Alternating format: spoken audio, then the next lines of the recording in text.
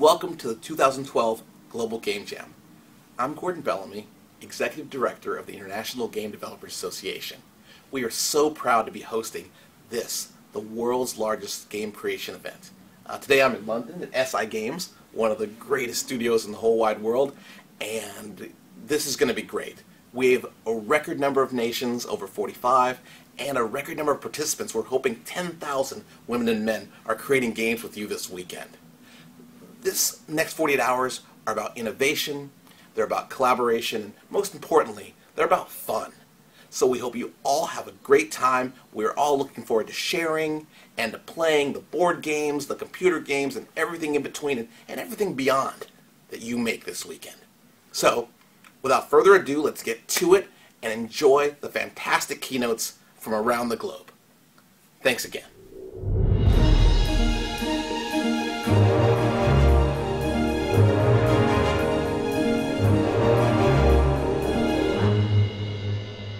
Welcome to the Global Game Jam 2012. I'm Brenda Garno Brathwaite, And I'm John Romero. and we are with Loot Drop. Yeah. John and I worked on three games together. Uh, most recently released was Ravenwood Fair, and that was nominated for a couple of awards. Um, my game Cloudforest Expedition, uh, Brenda worked on that as well. And we're currently working on my game, which I can't tell you anything about. It's pretty cool though. It's awesomely cool, and it'll be out This some- year, yeah. Yeah, sometime this year. So soon. Um, so the very first thing you need to do when you're collaborating is know your constraints. You have only one weekend, which is even crazier than our six-month schedules, and you have a relatively small team who may or may not have ever made a game before. Uh, one of the biggest mistakes you can make is to get too ambitious with your design. Uh, that's something that happens very frequently in game colleges on the final project, and it's even worse if you try and do that during this uh, this short weekend. So keep it to a sane amount of design.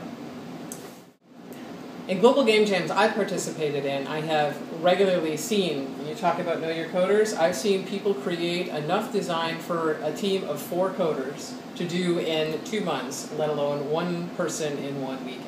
So you're absolutely right about that. It's also important um, if you're using some kind of engine that already has a bunch of built-in capability that really influences what you're going to design because you might not have to code that stuff or design it. So um, if you're using a, a, framework or some sort of engine, uh, that totally influences what kind of design you would do. So before you start anything, do a survey of the team, know what your skills are, know what you can do, and I'll borrow this from an old friend of mine. Uh, make your design and immediately, after you're sure it's everything you need, just cut it, uh, cut two thirds out almost immediately. And then maybe you'll finish on time. And if you don't believe us, believe John Steinbeck. He I'm going to quote John Steinbeck. There are no good collaborations, whether in music and art, in poetry, in mathematics, in philosophy, in games. Once the miracle of creation has taken place, the group can build and extend upon it, but the group never invents anything. That preciousness lies in the lonely mind of a man, or a woman, as the case may be, but Steinbeck wasn't being politically correct at the time. Anyway, and I also added the part about games. The thing is, is that having one person who makes the call will help things get done so much better. Now, when we talk about one person being the lead, that doesn't mean you need to assign one person to be a tyrant. That person needs to be open to feedback and needs to be great at receiving it. And it's really important that the lead knows how to cut down on features or how to redesign features so they can be implemented even faster. So I'll give you an actual example from John's game. He was working um, on Cloud Forest, and there was one particular feature that I just didn't understand. It, it didn't. I understood how it was supposed to work design-wise, but it just didn't work for me as a player. It turns out he didn't necessarily get my point. He didn't feel the same way when he played the game, but he understood that it was important to me and also important to a couple other people. So rather than just go, I don't get it, I don't see it, it doesn't matter to me, he knew that he wanted to please as many players as possible, and so he actually did a bit of redesign based on feedback from other people. And whoever your lead is, they need to be able to make sure they receive feedback the same way. Yeah. So one of the points I've seen happen a lot in collaboration is that people will endlessly discuss the most minute details for a whole weekend sometimes. The best thing you can do is just put that feature in the game as fast as possible, and the game will basically tell you whether it's good or not. Yeah, games never lie. Uh, another important thing to know is that a game is only as strong as the weakest team member, and uh, a lot of student projects at game colleges end up with the project lead doing all of the debugging and coding for all the other team members that are sleeping around behind them on the floor. You don't want that to happen this weekend. I mean, at least wait till you get in the industry for that sort of stuff. Um, the uh, I've seen people do that all the time. Uh, so one of the things you need to do is make sure you're pulling your weight. Make sure you know the, the weight that you can pull. Sometimes people will say they can do all these things as they head into a game jam or into a high pressure situation, uh, and they can't actually do that, or they're not as good as they thought they were. So understand the weight you can lift, and be sure to pull your own weight all weekend. Uh, remember that when this weekend is done, there are going to be people who can't wait to work together again, and there's going to be people who are never going to work together again. Consider this your first interview on your way into the game industry, because some people around you are going to find your way into the industry, and your resume may cross a desk, and you want them to either say, "Yes, I totally want to work with this guy," or "Ooh, I never want to work with her." And you know, I should have I should have flipped the genders there. I, uh, one last thing that's important is that really there's nothing worth fighting over for this weekend. So the phrase that it's just a game, you know, it is just a game. And even when we're making games and there's millions of dollars on the line, I wouldn't say it's just a game, it's a game. And I've never seen a team that hated each other make an excellent game. So whatever your disagreements are, remember that you're there to have fun, you're there to make something fun, and you're here to have a great weekend, and you're obviously going to need to sleep probably for two days when this is done. So enjoy it while it lasts and have fun. Yeah, respect your lead. They can make the decisions when something is, is being argued upon. So John and I, when we are, other than a few bruises, other when we're so John and I have sure we've had arguments while we're making games, but they're usually how long do they even last? I don't even know if we've actually ever actually had an argument. Okay, it was a lie. Um, have we ever actually had an argument while making? I don't think so. Yeah, I don't think we actually have. So the point is, is if you have, I guess, what we must do is if I have a disagreement with John's designer, I'm having a problem with something that he's designing, and the same goes his way, is uh, we'll just talk it out. And, you know, here's something you might want to consider. Ultimately, I respect John as a designer, he respects me as a designer. So when we're giving each other feedback, um, it's not coming from a place of, what are you talking about? But coming from a place of respect. Have fun. I already said have fun. You can have fun from both ways. Have a great weekend. Good luck.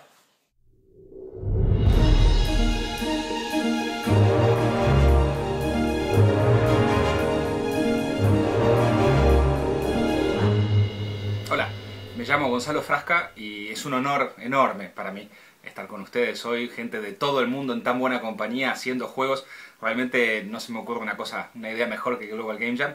Y, bueno, les cuento que yo soy de Uruguay. Eh, Uruguay acá, es el mundo, eh, las Américas y acá está Uruguay.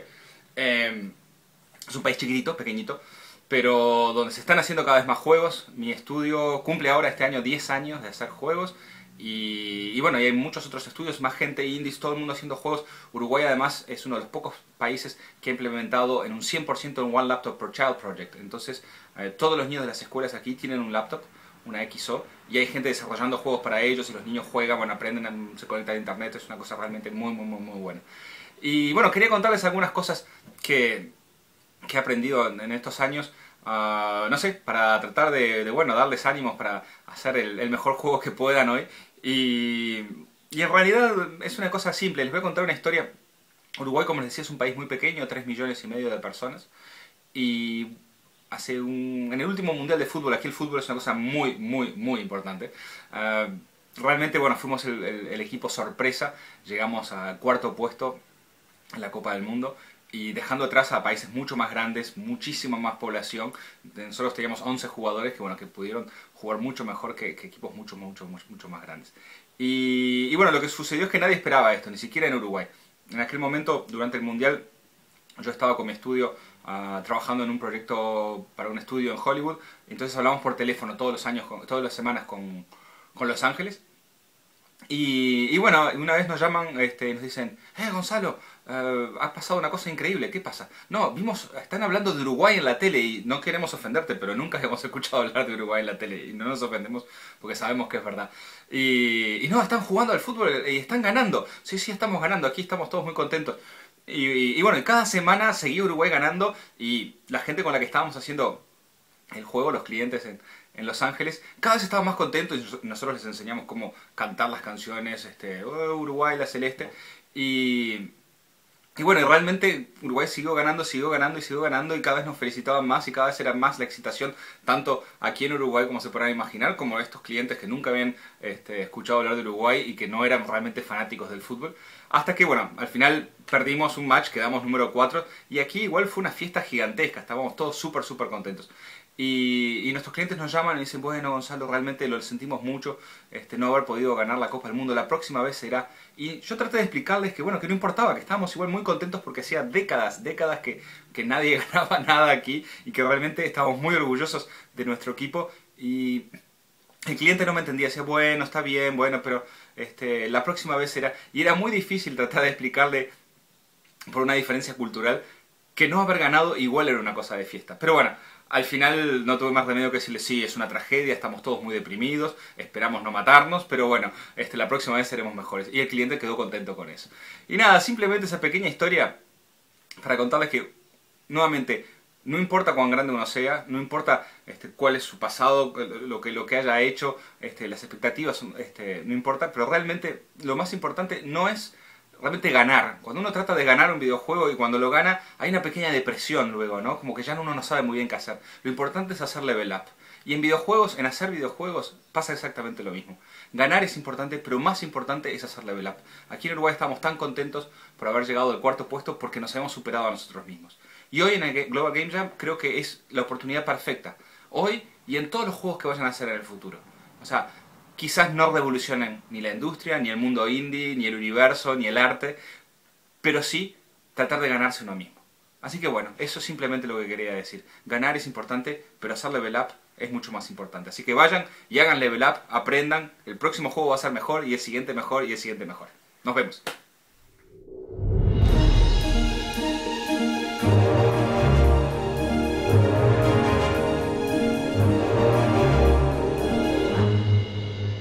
今回はイノベーティブっていうテーマなので、えー、っと僕が思うイノベーティブっていうことについてちょっと話してみたいと思います。多分イノベーティブっていうのはえー、っと一人では多分できなくて物と物がこう組み合わさったり人と人が組み合わさったり記憶と記憶が組み合わさったり英語で言うと多分セレンディピティっていう言葉になると思うんですけど何かこう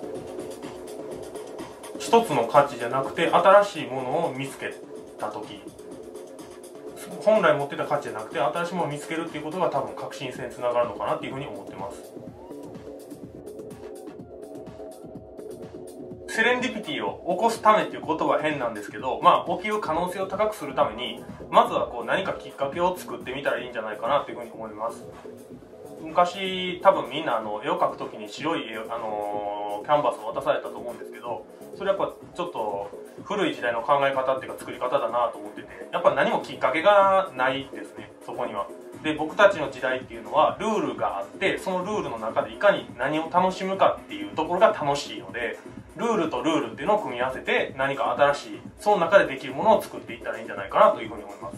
だから例えばキャンバスだったらもうあの、最初からこうそこに猫を歩かしたりとか車に一回そのキャンバスを引かしてこう後をつけたりとかお茶をこぼしたりコーヒーの汁をこぼしたりとかして何かそこからこう発想が得れたりとかするんだったらまあラッキーだなと思うしそれがまあそのインスピレーションつながるならすごいいいかなというふうに思います。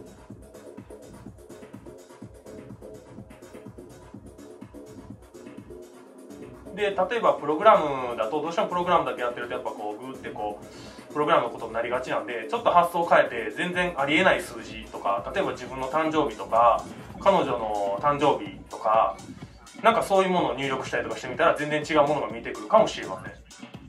僕自身がこう実践していることで言うと例えば以前こうなんか絵を描いてる時にもうなんか自分の好きな色を選べるのにもう飽きてしまってで絵の具をたまたま描いた時にもうこう目をつぶってこうガーって絵の具を選んでそしたら全部緑色やったりとかそれそれでも全部買うんですね。それで自分の今までこうやりたかったイメージとかアイデアっていうのはできないんですけど全然違うアイデアがそこに生まれてきて何かこう新しい価値を見出したりとかできることとかもあるのでやっぱそういうことは面白いかなと思います。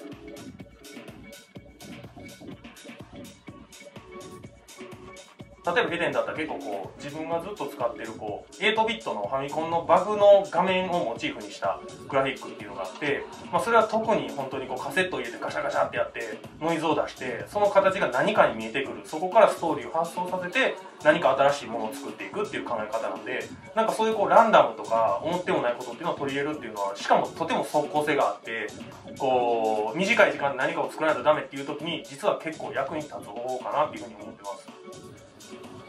例えば自画像を描くときに、えっと、自分の顔のラインから描いていくのがこう風景から描いていくと自分の形がこうぼんやりぼんやり見えてくるのかでやっぱりプロセスは違うんですけど、まあ、最終的に自画像を描けるわけでやっぱちょっとそういう発想の転換っていうのはとてもこう逆の方向から見てみるっていうのはやっぱすごい面白いしインスピレーションがあると思うのでぜひ試してみてほしいなというふうに思ってます。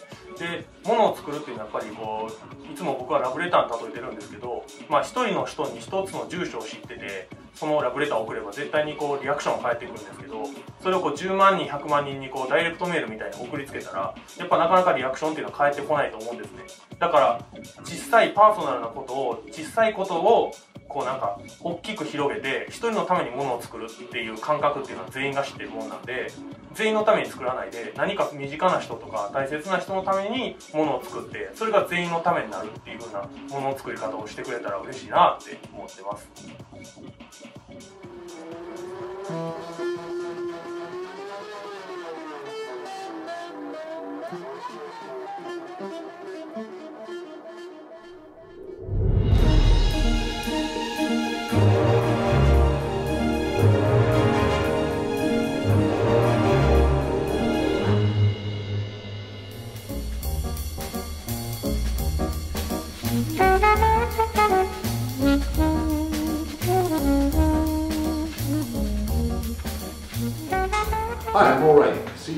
Stupid Fun Club, here to introduce the Global Game Jam.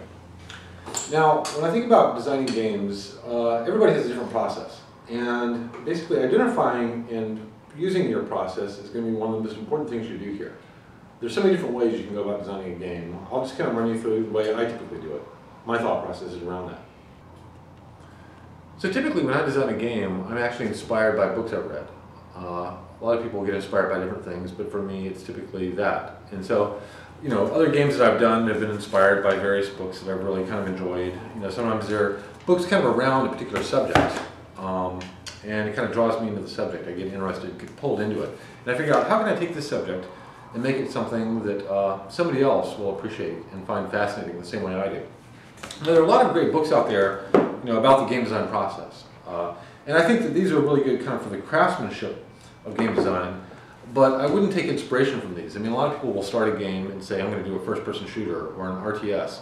I never start with genre. I always start kind of with topic. And so I'll just be reading random books, and at some point I'll come across, you know, maybe one or two books that feel like, oh, I see some idea there. You know, there's something in here that, you know, I really want to kind of pursue.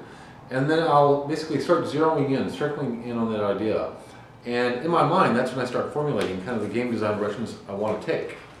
Which kind of brings us to the next step, which is then taking that idea and starting to prototype it. Prototyping can have many different goals. One of the first goals, usually when I approach prototyping, is figuring out how we're going to make the mechanisms of the game work. You know, this is very much kind of an engineering exploration, looking at the bits and pieces that are going to make our game. How are we going to engineer them? Are they buildable? Uh, and at what cost? And that will help us establish things like the team size and scope of the game. Other kinds of prototyping can involve more direct interaction. What you're really trying to do is build some system that you can sit and play with and get a sense of how it feels kinesthetically, uh, how it feels psychologically or motivationally. Uh, this is something that in a game jam situation, you're going to be doing this over a matter of minutes and hours, not over days and weeks. But basically, you want to get something as playable as early as possible so you can really start touching it and getting a sense, you know, what do you like, What do you not like? What's working? What's not working? Uh, because really games are all about interaction. And so the sooner you can get this thing interactive where you can actually start manipulating it, the better. So as a designer, what you're actually doing is you're exploring this very large design space. Uh, you're starting with this very nebulous idea, and then you're looking at all the different branches that the design could take, and as efficiently as possible, kind of pruning those branches. So for instance, imagine your design is a tree with basically your starting point, your subject material, and the rough idea is the base of that tree.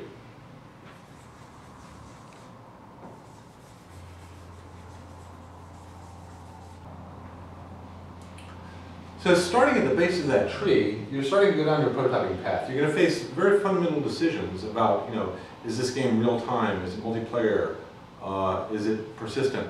These very fundamental decisions will send you down various branches. Every time you take a turn on a branch, you're in effect basically uh, fil filtering out and erasing, you know, all the branches on that part of the tree. So when you take one path, you're basically cutting off, you know, all these different directions your game could have gone. At the end, you can end up at one of these leaves. At the beginning of the process, you don't know which leaf you're going to end up on, uh, but you do have a sense of what direction you want to go to at every junction.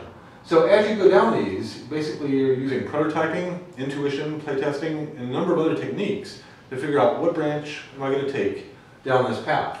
And in doing so, over time, at every branch, if you make the right decisions,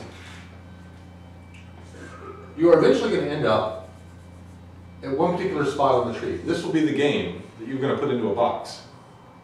Now typically, alongside of this design process where we're building prototypes, testing things, there's an equally important process that's going on, which is how do we convey this idea to people in the most efficient means possible? You know, a lot of times we'll basically start doing sketches, uh, visual representations of the idea, uh, metaphors we can wrap around. Um, this game is like something you know, except it does that. Uh, these will get more developed over time as we find more and more effective ways to convey this idea to somebody basically from a distance. You know, basically if somebody were looking across the room at a box on a shelf, what would attract them to go pick up that box, uh, maybe turn it around and start looking at the back of it. As we refine this message, and a lot of times this is just done by talking to your friends and describing the game and finding what parts they kind of latch onto, they need a handle to kind of grab onto to start to understand and get interested and motivated, you know, wanting to experience this. Uh, then we'll actually start refining that message deeper and deeper. And you know, in a lot of cases, I'll actually design kind of a, uh, a fake box. Um, you know, early in the design stages, and I'll have things on the back of the box, uh, sales points, bullet points, etc. But basically, it's a process of me understanding conceptually how to convey this idea to somebody who has no idea they want to play this thing, no matter what it is or how odd. Uh, that's almost as important as the game itself, because if it doesn't sound fun to them, if they're not in playing in their imagination, they're not having fun, they're never going to give the real game a chance. And so I'd say that that kind of conceptual representation of your game, why it's fun, why somebody wants to try it out, uh, is equally important to you actually you know, crafting a great game. So I want to wish everybody good luck. Uh, you know, think outside the box. Um, but also as a designer, you know, try to understand the way you're thinking through this entire design process as you, as you design your games and really try to make something that you enjoy, that you're actually having fun with. And uh, again, best wishes.